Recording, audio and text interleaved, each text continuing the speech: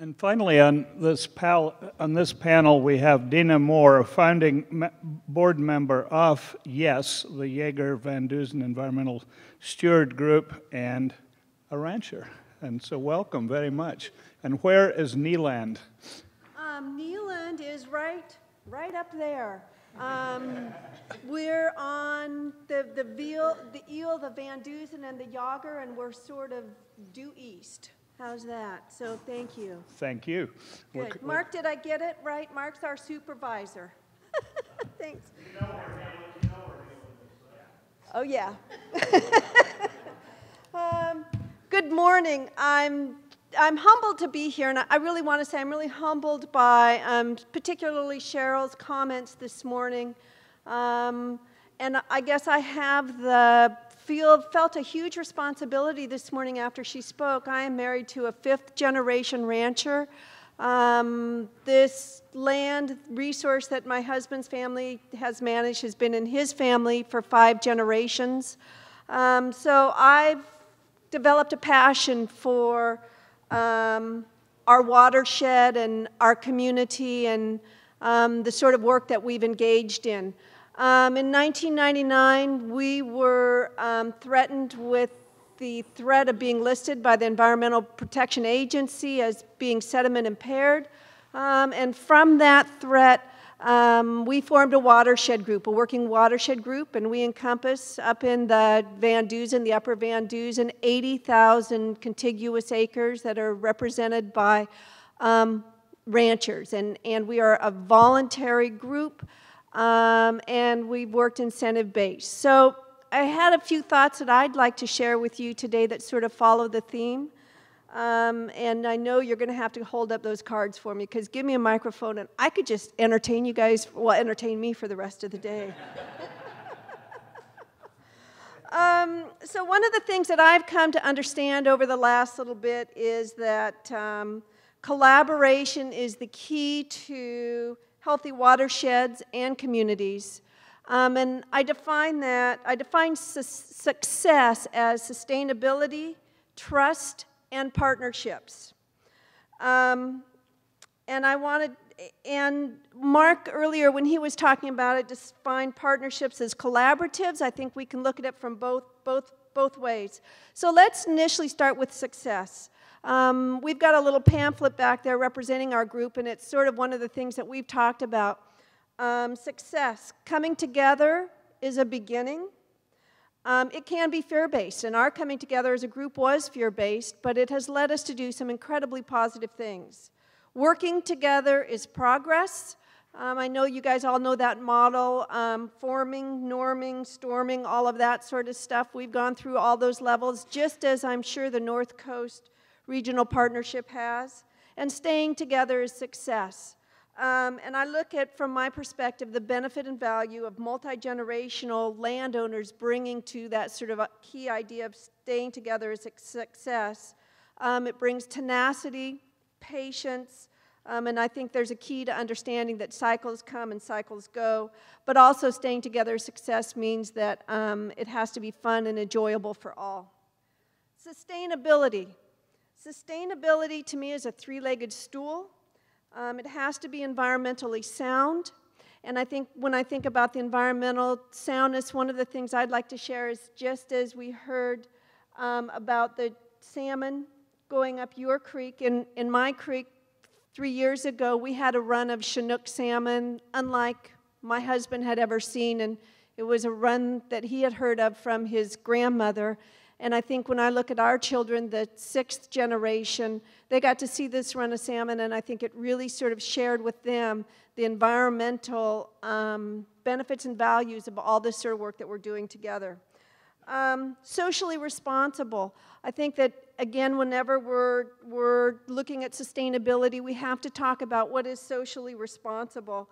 Um, and I think that within communities, we need to look at how are we going to build social capital. And again, I think the efforts such as demonstrated through this diverse partnership really helps us um, achieve that goal. Um, and then finally, it has to be economically viable. And obviously, that's one of the themes that you guys are talking about today, and I cannot emphasize that enough. Um, economic viability, particularly in Humboldt County, has some real challenges these days. Um, but what I would like to share with you is what this sort of work has helped my small community do. And over the, period of years that we've been involved in restoration, counting your project as well as a variety of other projects, we have been able to bring into our 80,000 acres about $6 million to do restoration work. And through that, we have been able to keep contractors working in a time when there was not a log market and they did not have the availability of making a living that way um, in a sustainable fashion. And so I think we're really proud of being able to help our community um, remain economically viable. So one of the elements I think also that's important about this that I talked about was success with sustainability, trust, and partnerships. I'd like to speak to a moment just to you about trust. Um, trust, and I'm going to use it sort of an, as an acronym. Trust, T stands for transparent in all of our dealings with each other. To build trust, we have to be transparent. Um, R, we have to be respectful, responsible, and robust. And again, one of the conversation pieces that I've heard this morning is the diversity and the robust conversations that you have all engaged in, and I think that that is absolutely invaluable in these processes. Um, U stands for underestimated and unique. I think that trust can be underestimated, um, and it's unique to have trust, and I think it's invaluable to have trust. Um, S stands for synergy, social capital, and stakeholders. Again, all stakeholders need to be at the table. Uh, you need to have a diverse body of stakeholders at the table. Um, and finally, T. T is it takes time, and then our goal, I hope, through these sorts of expanded conversations and works is that it is transferable and that we can all transfer sort of our knowledge about how, how this works. Partnerships. I'd like to talk just briefly about partnerships and what are involved in partnerships and what you need to have strong partnerships. Um, partnerships require leadership, um, and I think it's key, and I think, again, you guys are modeling really well the leadership that is out there, but partnerships do require strong leadership. Um, and from our work, what we really have discovered and what I've discovered in other work that I've done throughout the nation with other voluntary landowner-led groups is that really powerful work can be done with voluntary incentive-based models. Needs to be innovative, um, needs to be collaborative by nature. We need to define common goals and common objectives. And I think as you saw with Mark's um, presentation earlier this morning, the overlapping circles. One of the things that we've talked about is that 80-20 rule. We need to find that 80% that we agree upon as we're beginning our trust and our relationships, and that will allow us to work on that 20% that maybe we don't share in common once we've built those relationships.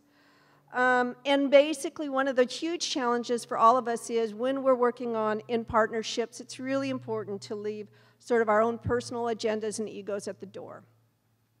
So, in closing, what I'd like to say is thank you. We really appreciate this partnership. We appreciate what it has done for us. But I think we need to talk about the good, the bad, and the ugly. I hope that I've shared with you really what I believe is Kate, what this, this sort of diverse partnership is, is, can do and succeed at. But as a very small project proponent, voluntary based, this model is not economically sound for us. Getting funding from the IRWMP is not economically sound for us. And I'm really sad to say that. We have, over the period of time that we've been involved in these projects, waited six months for payments. Currently, right now, I have a payment that we submitted in May that we have not yet been paid for. And that payment is to an accounting firm. And this is the only project that we've ever had to hire an accounting firm to work with us because of the labor compliance element of this project. So I would say to you, there are some challenges. If you want to assist folks like us, they have to be resolved. Um, and then the other part of it, too, is again, when, when we're looking at sort of who is included in this diverse model. I am just so appreciative of my RCDs, our RCDs. They've been absolutely invaluable to us. But I guess what I would like to see is a show of hands of folks in the room who are here who are representing working landscapes that make a living. Look around. Not a whole lot of us. Um, I would like to suggest to you perhaps that there may be a place in, at your table, just as there has been for the tribe, but a larger place at the table for those of us who really do make our living on working landscapes. And thank you very much.